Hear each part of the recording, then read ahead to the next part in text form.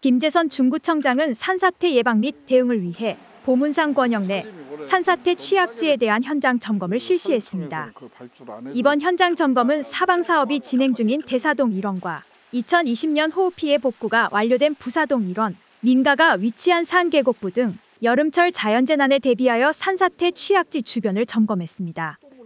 김재선 청장은 산사태 등 재난 취약지에 대하여 지속적인 관심과 사전 점검을 통해 자연재난 피해를 막고 만일의 사태 시 신속한 대응으로 국민의 생명과 재산을 지키기 위해 총력을 다하겠다고 말했습니다.